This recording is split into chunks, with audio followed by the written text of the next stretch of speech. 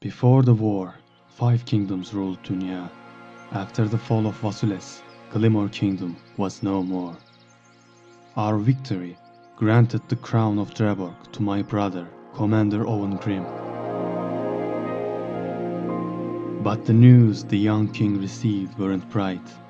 According to rumors, mysterious deaths had increased at conquered Wasules. The rumors were spreading, chaos was increasing amongst the people.